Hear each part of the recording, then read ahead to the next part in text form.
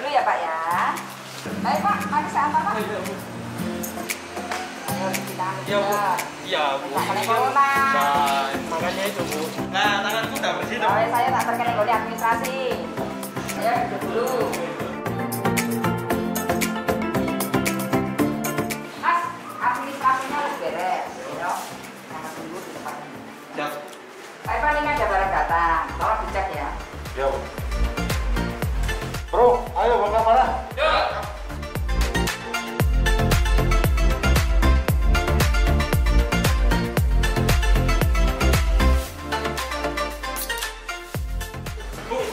Saya loh 4 tahun ngirim barang di sini loh, belum pernah masuk geng Pasmas di lantas Polda Jatim.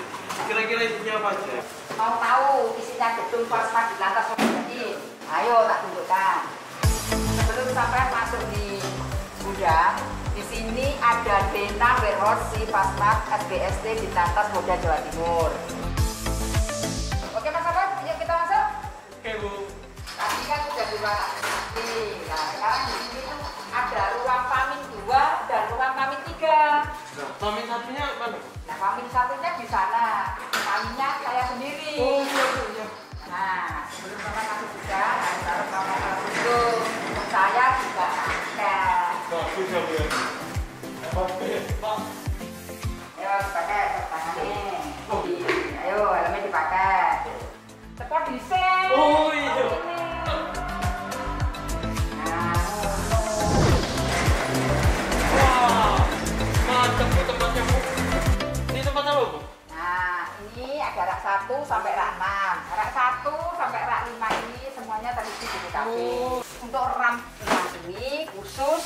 Oh, iya. Lah ini isinya apa, Bu? PNK ini, Bos. Keren, Bu.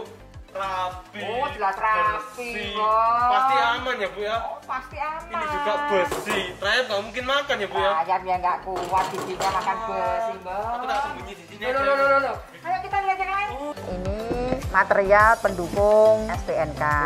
Nomornya kok bisa urut gini ya, Bu ya? Nah, ya, memang ini diurutkan. Jadi untuk mempermudah kita mendistribusikannya ke Polres-Polres. Oh, gitu ya, Bu. Material-material ini bisa sampai ke Polres-Polres. Begini Mas Ambon. Sekarang ini kan penerimaan barang material dari Korlantas. Setelah itu kita cek sesuai dengan SPPM. Nah, itu kan ada nomor serinya Mas Ambon. Jadi kita sesuaikan. Kita catat sesuai dengan nomor serinya. Setelah itu Mas Ambon, barang kita masukkan ke dalam gudang. Barang kita tempatkan sesuai dengan tempat yang telah disediakan. Setelah itu Mas Ambon, kita membuat BAP pengujian penerimaan dan pemeriksaan material oleh tim komisi. Nah, yang terakhir Mas Ambon membuat berita acara intern administrasi gudang. Nah, Mas Ambon, sekarang kita mengeluarkan barang. Barang-barang itu kita kirim ke Polres-Polres. Yang pertama, kasih Pasmat membuat rendis. Setelah membuat rendis, kita membuat SPPM dan berita acara. Setelah berita acara ditandatangani, maka administrasi gudang mengambil material yang di dalam gudang. Selanjutnya, material diserahkan ke PJHT. Nah, itu Mas Ambon. Lah, ini kan dokumen penting, Bu.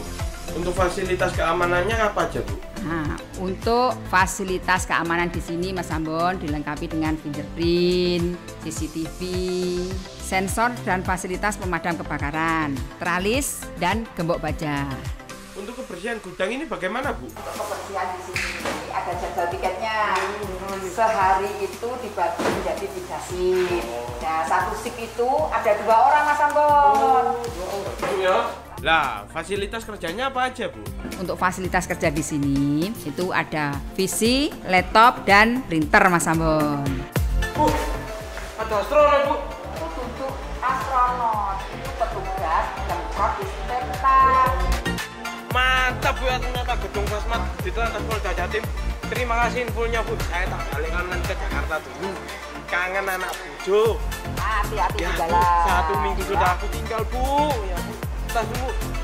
Makasih, Bu ya. Hati-hati di jalan.